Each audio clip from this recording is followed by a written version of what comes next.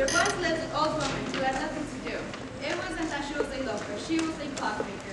The only trouble was that clocks hadn't been invented yet, so none of the clever little clocks she made would work. And making clocks that don't work is really nothing to do. To pass the time, she would play hide and seek with herself. Three, two, one. Right or not, here I come.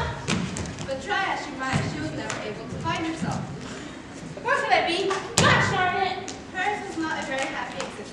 But one day, something changed her life. She was in the woods, gathering nuts for winter, when she happened to see a box partially hidden behind a large tree. A box! Hooray! I will take it home and turn it into a clock that doesn't work. Who are you?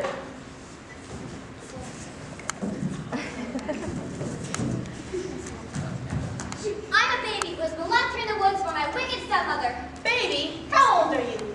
Sixteen. So she wasn't the youngest baby in the woods, but the old woman took pity on her enemies and carried her home and raised her as her own child. She named the girl Cutie Lou because she was indeed a cutie, you know, the mutable version of a supermodel. Then, one day, exactly a year from the day she found Cutie in the box, the old woman turned to the girl. Cutie Lou, this is your birthday. And I'm going to go out and get you a present. She set off into the wilderness, soon came to a solid wood glade, where she found some beautiful flowers made of solid gold, or at least gold plating. Perfect, she figured, for her daughter's hair. But no sooner had she picked one of the flowers when with a mighty roar, a great beast suddenly jumped. You are picking my flowers. For that, I will eat you. But, but I only picked one. So I'll eat you once. Oh, please don't. Listen. How about a clock that doesn't work? What else you got? Nothing. Only my cute little daughter. This caused the beast to stop his thing, for he was very lonely and unhappy as a beast. He put his arm around the old woman and gave him his best beastly son. Tell you what, terrified old woman. Tell you what I'm gonna do. I'm gonna do this because I like you. I think you like me. We really have a bond here, you know? And then the beast said something only the old woman could hear. We'll have to find out later. Soon the old woman arrived back at the house. Do I have a surprise for you? What is it? I gave you to a beast. With that, the beast ran climbed back into the box and ran herself in the woods again. But the old woman quickly explained it wasn't as bad as it seemed. The beast, you see, didn't really think he was a beast at all. He thought he was a handsome prince who was bewitched by a witch, and all he needed was a kiss by a beauty, or at very least by a cutie. The beast read something like this somewhere. For those of you who are curious, that's the beast and old woman were talking about in the wedding glade. Hmm. If he really is a prince, we could get married and live in a castle. Oh, and we could send our kids to the finest school. Oh, and I could drive the carriage pool once a week. In any case, the girl agreed and soon found herself in the forest glade where the beast was anxiously awaiting. Let's get this over with.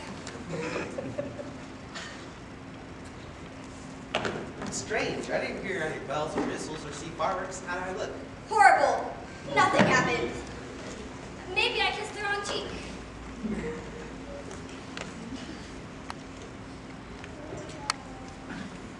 Um, maybe you have a different spell. Like amnesia. Maybe a hard on the head would cure you.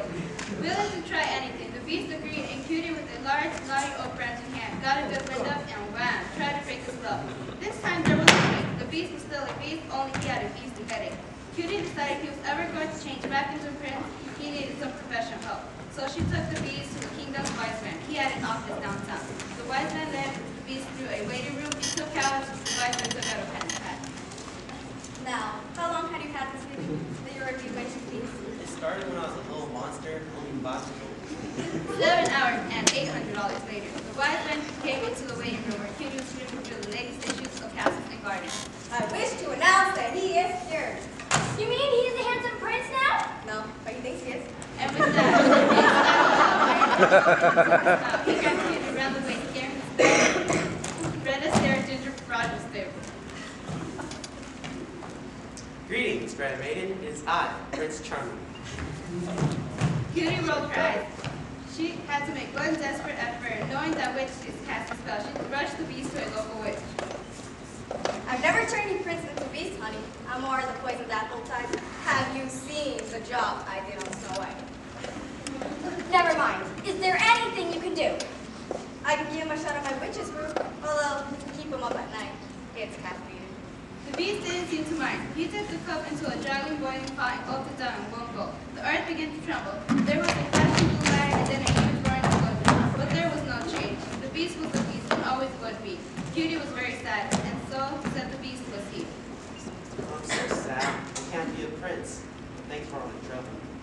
See ya. With that, he bent down on one knee and kissed Cutie's hand, and that's when something completely unexpected happened. In a blinding flash, Cutie turned into a beast, for it was, it was a girl beast all along, and so, as is usually the case, it was a happy ending. They were married, and as far as anybody knows, they are still living a peaceful, happy life.